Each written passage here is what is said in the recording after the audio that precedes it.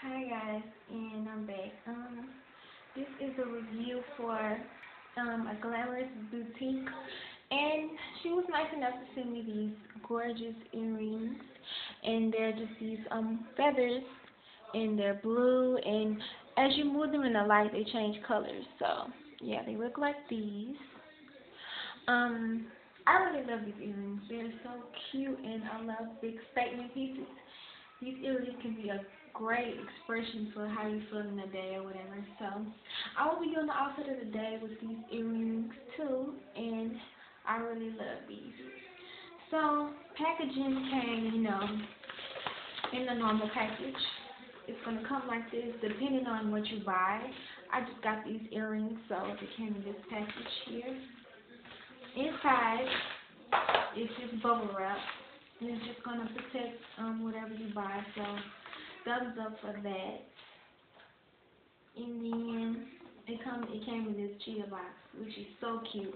I love when um companies like decorate their pieces or whatever, and this is so cute. So once you open it up, it's gonna have like this little um cushion paper here, this cotton paper, and this protects the earrings also. So yeah, I really love really love the packaging. So thumbs up for that too. Um guys, yeah, so you guys can check out her site if it's up or you can just go to her Facebook. Her Facebook is um my glamorous boutique or you can look in the description box and if I said it wrong I will be putting it in the description box below. So y'all can go check those out. She has clothes, jewelry, um, handbags, accessories, all kinds of accessories. You guys should check it out. She's a nice girl. She was sweet enough to send me these earrings. You guys check it out. Once again, this is how they look up close. Blue feathers, and she has these in a lot of colors, and these really caught my eye. These are so pretty. And they have a nice silky feel to it, so these are not heavy at all, and that's another thing that I love.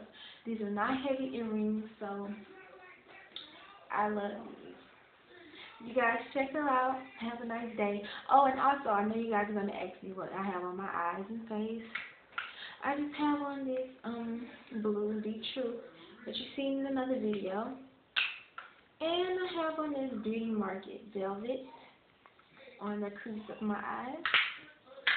Um, MAC Foundation NW47 in this luster glass, this pretty brown, A68. I don't know if you can see that, but yeah, that's this brown here. So you guys, once again, check out her Facebook, add her, tell her I sent you, or you can also check out her YouTube channel. I will be putting it in the description box below also. You guys have a nice day.